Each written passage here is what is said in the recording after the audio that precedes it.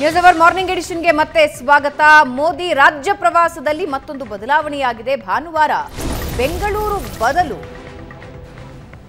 CM ತವರಲ್ಲಿ ಮತಬೇಟೆ ಇರುತ್ತೆ. ಬೆಂಗಳೂರು ಉತ್ತರದಲ್ಲಿ road show ಇರುತ್ತೆ ಅನ್ನೋ ಮಾತುಗಳಿದ್ವು. ಈಗ ಬದಲಾವಣೆಯಾಗಿದ್ದು ತವರು ಕ್ಷೇತ್ರ, ಸಿಎಂ ತವರು ಕ್ಷೇತ್ರದಲ್ಲಿ ಮಹಾರಾಜ ಕಾಲೇಜು ಮೈದಾನದಲ್ಲಿ ಬೃಹತ್ ಸಮಾವೇಶ ಇರುತ್ತೆ.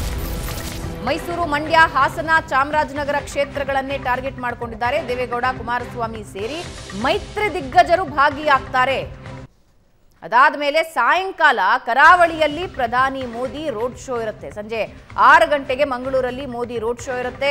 ನಾರಾಯಣಗುರು ವೃತ್ತದಿಂದ ಹಂಪನಕಟ್ಟೆವರೆಗೆ ರೋಡ್ ಶೋ ಇರುತ್ತೆ. ಕರಾವಳಿಯಲ್ಲಿ ಕೇಸರಿ ಕಹಳೆ ಮೊಳಗಿಸೋದಕ್ಕೆ ಬಿಜೆಪಿ ಸಿದ್ಧತೆ ಮಾಡಿಕೊಂಡಿದೆ. ಕರಾವಳಿಯಲ್ಲಿ ಪ್ರಬಲ ಬಿಲ್ಲವ ಓಟ್ ಭದ್ರಪಡಿಸೋದಕ್ಕೆ ಮೋದಿ ಅಸ್ತ್ರ ಪ್ರಯೋಗ. ಬಿಲ್ಲವ ಓಟ್ ಬ್ಯಾಂಕ್ ಕೈ ಜಾರದಂತೆ. ಬಿಜೆಪಿ ಮೆಗಾ ಪ್ಲಾನ್ ಮಾಡಿಕೊಂಡಿದೆ. ಮಂಗಳೂರಿನಲ್ಲಿ ಮೋದಿ ರೋಡ್ ಶೋ ವೇಳೆ. ನಾರಾಯಣ ಗುರುಗಳಿಗೆ ಗೌರವ. ಬಿಲ್ಲವ ಸಮಾಜದ ದಾರ್ಶನಿಕ ಬ್ರಹ್ಮಶ್ರೀ ನಾರಾಯಣ ಗುರುಗಳು. ಅವರ ಪ್ರತಿಮೆಗೆ ಮಾಲಾರ್ಪಣೆ ಮೂಲಕ ರೋಡ್ ಶೋ ಆರಂಭ ಆಗತ್ತೆ. ಮೋದಿ ಮೂಲಕ ಬಿಜೆಪಿಯಿಂದ ಬಿಲ್ಲವ ಓಟ್ ಬ್ಯಾಂಕ್ ಭದ್ರಕ್ಕೆ ಪ್ಲಾನ್.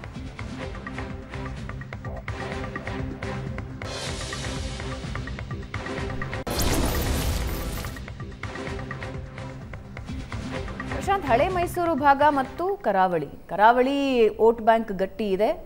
ಹಳೆ ಮೈಸೂರು ಭಾಗಕ್ಕೆ ಬರೋಣ ಒಂಚೂರು. ಸಿ ಎಂ ತವರು ಕ್ಷೇತ್ರಗಳು. ನೋಡಿ ಮೈಸೂರಿನಲ್ಲಿ ಪ್ರತಾಪ್ ಸಿಂಹ ಅವರನ್ನು ಬದಲಿಸಿ ಮಹಾರಾಜ ಯದುವೀರ್ ಒಡೆಯರನ್ನು ಚುನಾವಣೆಗೆ ಬಿ ಜೆ ಪಿ ನಿಲ್ಲಿಸಿರುವಾಗ ಬಿ ಜೆ ಪಿಗೂ ಕೂಡ ಒಂದು ಪ್ರತಿಷ್ಠೆ ರಾಜಮನೆತನಕ್ಕೂ ಕೂಡ ಪ್ರತಿಷ್ಠೆ. ಶತಾಯಗತಾಯ ಚುನಾವಣೆ ಗೆಲ್ಲಬೇಕು. ಎದುರುಗಡೆ ಒಕ್ಕಲಿಗ ಕ್ಯಾಂಡಿಡೇಟ್ ಇದ್ದಾರೆ. ಮುಖ್ಯಮಂತ್ರಿ ಸಿದ್ದರಾಮಯ್ಯ ಪದೇ ಪದೇ ಮೈಸೂರು ಚಾಮರಾಜನಗರದ ಪ್ರವಾಸಕ್ಕೆ ಹೋಗ್ತಾ ಇದ್ದಾರೆ. ಎರಡೂ ಸೀಟ್ಗಳನ್ನು ಗೆಲ್ಲಿಸಲೇಬೇಕು ಅಂತಕ್ಕಂಥ ಒಂದು ಸ್ಪಷ್ಟತೆಯಲ್ಲಿ ಸಿದ್ದರಾಮಯ್ಯನವರಿದ್ದಾರೆ. ಪ್ರತಿ ಬಾರಿ ಏನಾಗ್ತಾ ಇತ್ತು ಮೈಸೂರಿನಲ್ಲಿ ಹಿಂದುಳಿದ ವರ್ಗದ ಕ್ಯಾಂಡಿಡೇಟಿಗೆ ಕೊಡ್ತಿದ್ರು B J P J D S ಕೊಡ್ತಿದ್ರು ಬಿ ಜೆ ಪಿ ಒಕ್ಕಲಿಗರಿಗೆ ಕೊಡ್ತಿತ್ತು ಪ್ರತಾಪ್ ಸಿಂಹ ಎರಡು ಬಾರಿ ಜೆ ಡಿ ಎಸ್ನ ಒಕ್ಕಲಿಗರ ಮತಗಳನ್ನು ಕೂಡ ತೆಗೆದುಕೊಂಡು ಗೆದ್ದರು ಆದರೆ ಈ ಬಾರಿ ಮೈಸೂರಿನಲ್ಲಿ ಮಹಾರಾಜ ಯದುವೀರ್ ಒಡೆಯರ್ಗೆ ಕೊಟ್ಟ ನಂತರ ಕಾಂಗ್ರೆಸ್ ಒಕ್ಕಲಿಗ ಕ್ಯಾಂಡಿಡೇಟ್ ಕೊಟ್ಟಿದೆ ನಲವತ್ತೇಳು ವರ್ಷಗಳ ನಂತರ ಕಾಂಗ್ರೆಸ್ ಒಕ್ಕಲಿಗ ಕ್ಯಾಂಡಿಡೇಟ್ ಕೊಟ್ಟಿದೆ. ತುಳಸಿದಾಸ್ ಅವರು ಇದ್ದಾಗ ಏನೋ ಕೊಟ್ಟಿದ್ರು. ಯಾಕಂದ್ರೆ ನಂಗೆ ಲಕ್ಷ್ಮಣ್ ಸಿಕ್ಕಾಗ ಹೇಳ್ತಾ ಇದ್ರು. ಲಕ್ಷ್ಮಣ್ ಸಿಕ್ಕಾಗ. ಇಲ್ಲ ನಲವತ್ತೇಳು ವರ್ಷದ ನಂತರ ನಾವು ಒಕ್ಕಲಿಗರ ಟಿಕೆಟ್ ಪಡೆದಿದ್ದೀವಿ ಅಂತಕ್ಕಂಥದ್ದು. ಹೀಗಾಗಿ ಒಕ್ಕಲಿಗರು ಒಕ್ಕಲಿಗರ ಓಟ್ಗಳನ್ನು ಒಡೆದು ಒ ಬಿ ಸಿ ಮತಗಳನ್ನು ಸಿದ್ದರಾಮಯ್ಯನವರು ಮೊಬಲೈಸ್ ಮಾಡಿ ಮೈಸೂರು ಕ್ಷೇತ್ರವನ್ನು ಗೆಲ್ಲಬೇಕು ಅಂತಕ್ಕಂಥ ಪ್ರಯತ್ನದಲ್ಲಿ ಕಾಂಗ್ರೆಸ್ ಇದೆ. ಪಕ್ಕದ ಚಾಮರಾಜನಗರದ ಜಿಲ್ಲೆಯಲ್ಲಿ ಎಚ್ ಸಿ ಮಹದೇವಪ್ಪನವರ ಪುತ್ರ ಇರೋದ್ರಿಂದ ದಲಿತ ರೈಟ್ ಮತಗಳು ಕೂಡ ಎರಡೂ ಕ್ಷೇತ್ರಗಳಲ್ಲಿ ಕನ್ಸಾಲ್ಡೇಟ್ ಆಗ್ತವೆ ಅಂತಕ್ಕಂಥ ಒಂದು ಪ್ರಯತ್ನವನ್ನು ಸಿದ್ದರಾಮಯ್ಯನವರು ಮಾಡ್ತಾ ಇದ್ದಾರೆ. ಸಿದ್ದರಾಮಯ್ಯನವರೇ ಸ್ವತಃ ಅಖಾಡಕ್ಕೆ ಇಳಿದಿರೋದ್ರಿಂದ ಬೇರೆ ಬೇರೆ ಹಿಂದುಳಿದ ವರ್ಗದ ಸಮುದಾಯಗಳು ಸಣ್ಣ ಸಣ್ಣ ಸಮುದಾಯಗಳು ಅವುಗಳನ್ನು ಸೆಳಿತಕ್ಕಂಥ ಪ್ರಯತ್ನವನ್ನು ಮಾಡ್ತಾ ಇದ್ದಾರೆ. ಹೀಗಾಗಿ ಪ್ರಧಾನಮಂತ್ರಿಗಳು ಮೊದಲು ಮೈಸೂರು ಅಂತಕ್ಕಂಥದ್ದು ಇರಲಿಲ್ಲ. ಚಿಕ್ಕಬಳ್ಳಾಪುರ ಬೆಂಗಳೂರು ಉತ್ತರ ಇತ್ತು ನಂತರ ಅದು ಚಿಕ್ಕಬಳ್ಳಾಪುರ ಕ್ಯಾನ್ಸಲ್ ಆಯಿತು ಬೆಂಗಳೂರು ಉತ್ತರ ಅಂತ ಆಯಿತು ಆಮೇಲೆ ಮಂಗಳೂರು ಅಂತ ಆಯಿತು. ಈಗ ಮಂಗಳೂರು ಮೈಸೂರು ಎರಡೂ ಕಡೆ ಪ್ರಧಾನಮಂತ್ರಿಗಳು ಹೋಗ್ತಾ ಇದ್ದಾರೆ. ನನಗನ್ಸುತ್ತೆ ಹಳೆ ಮೈಸೂರು ಭಾಗದಲ್ಲಿ B J P J D S ಮೈತ್ರಿ ಆಗಿರುವಾಗ ಪ್ರಧಾನಮಂತ್ರಿ ನರೇಂದ್ರ ಮೋದಿ ಅವರ ರೋಡ್ ಶೋದಲ್ಲಿ ದೇವೇಗೌಡರು ಮತ್ತು ಕುಮಾರಸ್ವಾಮಿ ಕೂಡ ಪಾಲ್ಗೊಳ್ಳುತ್ತಾ ಇದ್ದಾರೆ. ಒಂದು ಮೋದಿಯವರ ಚರಿಷ್ಮಾ ಮೈಸೂರಿನಲ್ಲಿ ಎರಡು ಸಾವಿರದ ಹದಿನಾಲ್ಕರಿಂದ ಸತತವಾಗಿ ವರ್ಕ್ ಆಗ್ತಾ ಇದೆ. ಕೊಡಗುನ ಎರಡು ಕ್ಷೇತ್ರಗಳು ಕೃಷ್ಣರಾಜ ಚಾಮರಾಜ ಈ ಕ್ಷೇತ್ರಗಳಲ್ಲಿ ನಿಶ್ಚಿತವಾಗಿ ಒಂದು ಚಾರ್ಮ್ ನರೇಂದ್ರ ಮೋದಿ ಅವರದ್ದು ಇದೆ ಹುಣಸೂರು ಮತ್ತು ಚಾಮುಂಡೇಶ್ವರಿ ಕ್ಷೇತ್ರಗಳು ಒಕ್ಕಲಿಗ ಬಾಹುಳ್ಯ ಕ್ಷೇತ್ರ ಹೀಗಾಗಿ ಅಲ್ಲಿ ಜಿ ಟಿ ದೇವೇಗೌಡರು ಮತ್ತು ಅವರ ಮಗ ಹರೀಶ್ ಗೌಡರು ಇದ್ದಾರೆ. ಆ ಮತಗಳನ್ನು ಕೂಡ ಯದುವೀರ್ ಒಡೆಯರ್ಗೆ ತಂದರೆ ಒಂದು ಭರ್ಜರಿ ಜಯವನ್ನು ಗಳಿಸ್ಕೊಳ್ಬೋದು ಅಂತಕ್ಕಂಥ ನಿರೀಕ್ಷೆಯಲ್ಲಿ ಬಿ ಜೆ ಪಿ ಇದೆ. ನರೇಂದ್ರ ಮೋದಿಯವರ ಪ್ರಚಾರದಿಂದ ಪಕ್ಕದ ಮಂಡ್ಯ ಕುಮಾರಸ್ವಾಮಿಯವರು ಕೂಡ ಹೋಗ್ತಾ ಇರೋದ್ರಿಂದ ಮಂಡ್ಯದಲ್ಲೇನು ಬಿ ಜೆ ಪಿ ಮತಗಳಿವೆ. ಅವುಗಳು ಕೂಡ ಕುಮಾರಸ್ವಾಮಿಯವರಿಗೆ ಶಿಫ್ಟ್ ಮಾಡಿಸ್ತಕ್ಕಂಥ ಒಂದು ಪ್ರಯತ್ನವನ್ನು ಬಿ ಜೆ ಪಿ ಮಾಡ್ತಾ ಇದೆ ಅಂತ ಅನಿಸುತ್ತೆ.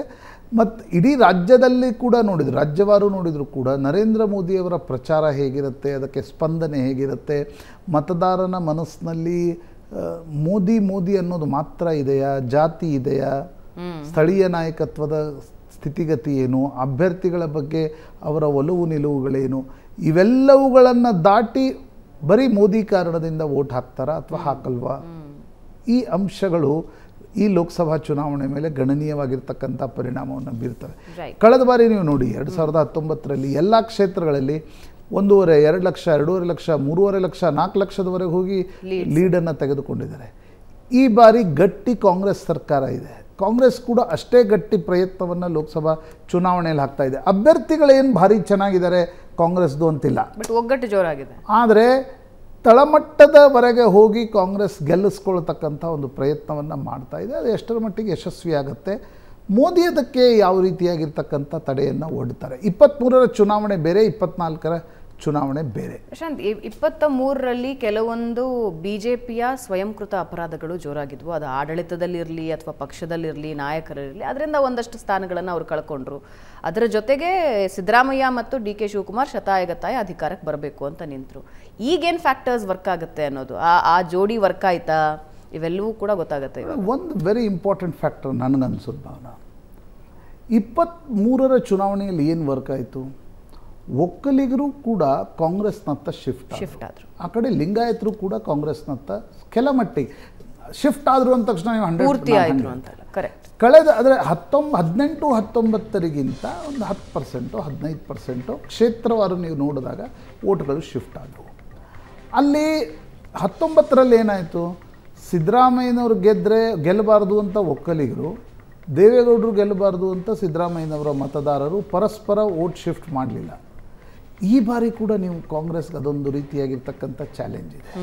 ಡಿ ಕೆ ಶಿವಕುಮಾರ್ ಸಿದ್ದರಾಮಯ್ಯ ಪರಸ್ಪರ ಜೊತೆಗೆ ಹೋಗ್ತಾ ಇದ್ದಾರೆ ಬಟ್ ಈಗ ಮೈಸೂರು ನಾನು ಹಾಗೆ ಹೇಳ್ತೀನಿ. ಮೈಸೂರಿನಲ್ಲಿ ನಿಮಗೆ ಲಕ್ಷ್ಮಣ ಅವರನ್ನ ಗೆಲ್ಲಿಸಿದರೆ ಅದು ಸಿದ್ದರಾಮಯ್ಯನವರ ಕೈ ಬಲಪಡಿಸಿದಂತೆ. Right because candidate Lakshman is Siddaramaiah. ಹೀಗಾಗಿ ಪರಸ್ಪರ ಒಕ್ಕಲಿಗರು ಮತ್ತು ಸಿದ್ದರಾಮಯ್ಯನವರ ಅಹಿಂದ ಫ್ಯಾಕ್ಟರ್ ಏನಿದೆ ಅವು ಎರಡು ಜೊತೆಗೆ ಕೆಲಸ ಮಾಡುತ್ತಾ? ಎಷ್ಟು ಪರ್ಸೆಂಟ್ ಮತಗಳನ್ನು ಸ ಈ ಒಕ್ ಕಾಂಗ್ರೆಸ್ನ ಒಕ್ಕಲಿಗ ಕ್ಯಾಂಡಿಡೇಟ್ ತೆಗೆದುಕೊಳ್ತಾರೆ. ದ್ಯಾಟ್ ಈಸ್ ವೆರಿ ಕ್ರೂಷಿಯಲ್ ನೀವು ಎಲ್ಲ ಕ್ಷೇತ್ರ ನೋಡಿ. ತುಮಕೂರಿನಿಂದ ಮೈಸೂರುವರೆಗೆ ಬೆಂಗಳೂರು ಗ್ರಾಮಾಂತರದಿಂದ ಮಂಡ್ಯದವರೆಗೆ ಚಿಕ್ಕಬಳ್ಳಾಪುರ ಎಲ್ಲ ಕಾನ್ಸ್ಟಿಟ್ಯೂನ್ಸಿ ನೋಡಿ. ಕಾಂಗ್ರೆಸ್ ಗೆಲ್ಲಬೇಕಾದ್ರೆ ಈ ಫ್ಯಾಕ್ಟರೇ ಭಾಳ ಮುಖ್ಯ. Right right